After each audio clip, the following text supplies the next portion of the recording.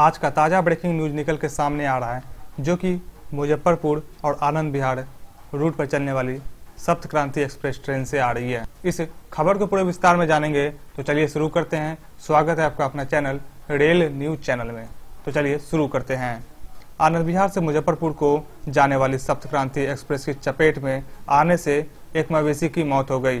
मवेशी के अवशेष इंजन में फंसने पर चालक ने आपातकालीन ब्रेक तो लगा दिया जिसके कारण पैसेंजरों में सुगबुगाहट तेज हो गई। कंट्रोल के आदेश पर पहुँचे कर्मचारी ने ट्रैक को साफ़ किया और ट्रैक दो मिनट के लिए रुकने के बाद रवाना की गई। Train number zero two, five four eight Saptakranti express train रात साढ़े आठ बजे के लगभग रेलवे क्रॉसिंग कर रही थी। उसी दौरान यह हादसा हुआ।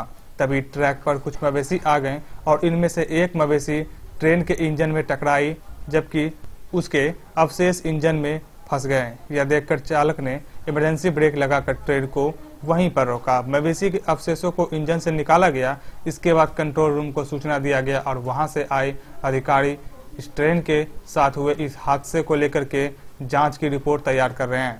ट्रेन नंबर है zero two five four eight जो कि मुजफ्फरपुर से आनंद बिहार और आनंद बिहार से मुजफ्फरपुर के बीच चलने वाली सबसे सुपरफास्ट ट्रेन और लोकप्रिय ट्रेन सप्त क्रांति एक्सप्रेस ट्रेन है, जो कि करीब आठ बजकर बीस मिनट पर रात में यह बड़ा हादसा हुआ जब यह ट्रेन वापस लौट रही थी।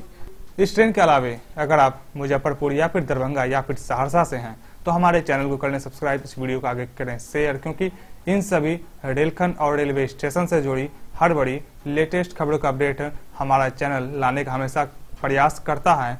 और हर एक अपडेट लाता भी है। ऐसे में कोई भी अपडेट ना छूटे, चैनल को सब्सक्राइब करें और इस वीडियो को आगे शेयर करें। इसके अलावा कोई सवाल पूछना चाहते हैं तो नीचे कमेंट बॉक्स में अवश्य लिखें।